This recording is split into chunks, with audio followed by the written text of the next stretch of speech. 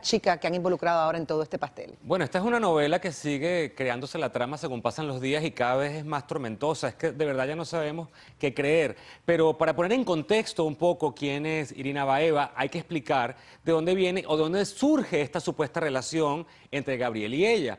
Eh, ellos son eh, actores, ambos fueron compañeros de novela. Al trabajar ellos juntos, estuvieron por un tiempo pues relacionados, haciendo como es natural, Mari, escenas de romance, escenas candentes y tal y qué sé yo. Y luego trabajaron juntos en una obra de teatro, que de hecho ambos promocionaban en sus redes sociales. Aquí la vemos con Marjorie, aquí lo vemos a él con Marjorie cuando trabajaban juntos y aquí con Geraldine. Exactamente. Y bueno, que, que lo cómico es también que la obra de teatro en donde él trabaja con ella, con Irina, fue la que básicamente pues reemplazó a Marjorie de Sousa cuando en su momento lo hacía. Pero ¿qué es lo que sucede y lo que nos llama poderosamente la atención? ¿Y qué es lo que la revista enfatiza? Que luego llegamos todos a que, desde luego es una especulación.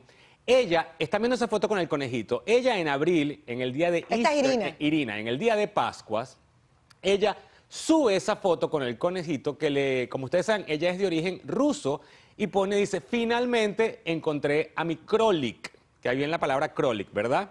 ¿Qué es lo que sucede? Luego, al día siguiente, inmediatamente, coloca esta foto que están viendo en pantalla. Ah, esta es la, foto de la que te hablo. Que ella pone, encontré a mi Krolik, a mi conejito, ¿no? Y al día siguiente, inmediatamente sube la foto felicitando a Gabriel por su cumpleaños, en el que pone, felices cumpleaños Krolik, Gabriel Soto. Y entonces nos llama por solamente la atención que están los dos mordiendo esta foto. Ambas fotos las subió desde Moscú. Y piensas tú, hasta cierto punto, una mujer que sabe que su compañero o su amigo está casado, le va a poner este apelativo o este sobrenombre de conejito. Bueno, a lo mejor porque lo, tienen como un conejito brincando de una en otra.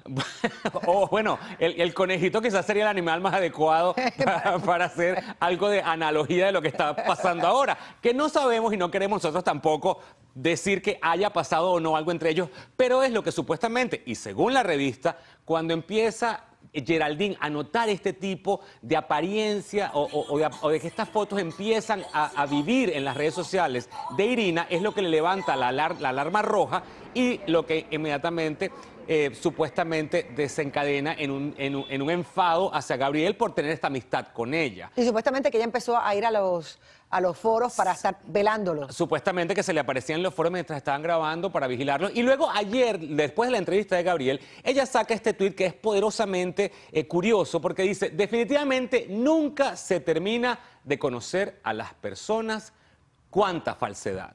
O sea, tirando un poco por tierra, o es lo que asumiría mucha gente, que luego de la entrevista que da Gabriel, donde él dice o niega categóricamente que ha tenido relaciones con Marjorie de Sousa, que no tiene ningún tipo de relación con Irina, que es simplemente una amiga.